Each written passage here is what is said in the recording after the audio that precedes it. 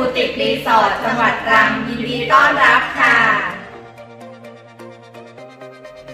หมายเลขห้องของคุณลูกค้าอยู่ห้อง 401 นะคะ อยู่ชั้น 4 ค่ะ ฝั่งด้านนี้จะเป็นห้องอาหารนะคะ ด้านหน้าจะเป็นสระว่ายน้ำและสระน้ำร้อนออนเซ็นค่ะ